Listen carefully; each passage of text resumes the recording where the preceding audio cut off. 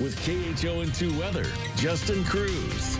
For tomorrow, partly cloudy conditions and windy weather as well. We'll go over those wind speeds in just a bit. Tonight's kind of a quiet night. We're not really seeing too much in terms of showers, but looking ahead, the headline is definitely some strong winds. Now, those winds have not triggered any kind of wind advisory, but that is not out of the realm of possibilities this week. There may be some uh, that are issued by the National Weather Service. So far, so good, though. Those winds have been strong, 20 to 30 miles per hour. We had some 40 mile per hour gusts earlier today. These high clouds are slowly clearing. Some of it may still be over the islands tomorrow morning, so there's a good chance for a beautiful sunrise. But for the most part, it is clearing the islands, so we'll get more blue sky and sunshine starting tomorrow. Just a few light windward showers that are forecast for the islands. There is some, uh, there are some storm remnants that will be sagging towards the islands Friday night. Give you a heads up, Friday into Saturday may be a bit wet. But tonight, the showers have been very isolated. They've also been very quick passing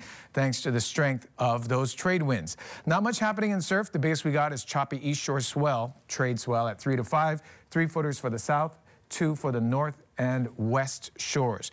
Weekend looks good, but it's going to start off on the wetter side of the spectrum. Friday night into Saturday morning, 40% chance of showers. By Saturday afternoon, those storm remnants should be clearing the islands into a mostly dry weekend Saturday afternoon and Sunday with, of course, strong trade winds.